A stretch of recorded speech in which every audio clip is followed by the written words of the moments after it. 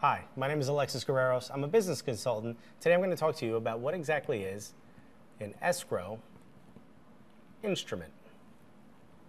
Now, escrow is the process of a third party holding an asset, typically money, uh, to complete a sale. So if you were buying a piece of property and you needed to pay, say, good figure is 100000 Let's say you were paying $100,000, it's not going to go directly to the seller because, well, there's a couple other things that need to be done before the actual sale is completed. So you, as the buyer, are going to put it in escrow, typically an attorney or an escrow account in a bank. Now, once the sale is completed, that money will be transferred to the seller. Now, the instrument is exactly what's being transferred. So, in this example, it would be money.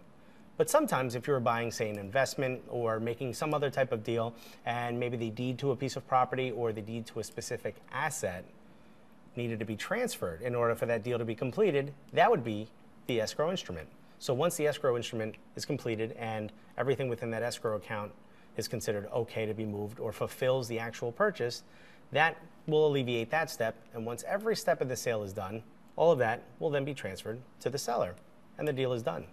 Good luck with your escrow payments.